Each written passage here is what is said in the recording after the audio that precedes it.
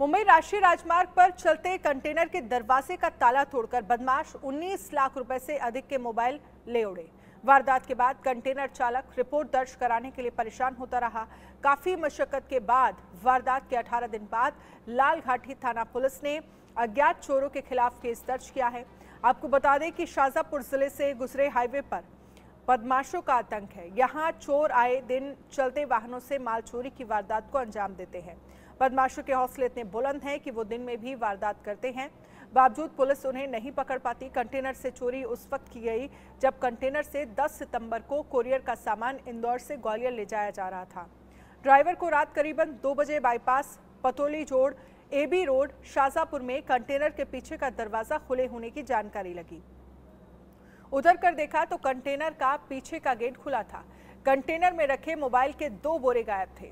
इन बोरों में करीब 160 मोबाइल थे। ड्राइवर द्वारा उपलब्ध कराए गए बिलों के अनुसार चोरी किए गए मोबाइल की कीमत 19 लाख रुपए से अधिक है। मामले में लालघाटी थाना पुलिस चोरों और माल की तलाश कर रही है।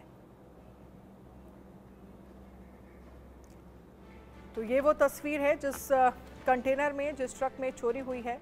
आप देख सकते हैं, पीछे से गेट खोलकर चोर लगभग 19 लाख रुपए के मोबाइल चोरी करके भाग गए। अब इस पूरे मामले को लेकर पुलिस जाँच कर रही है, तलाश कर रही है।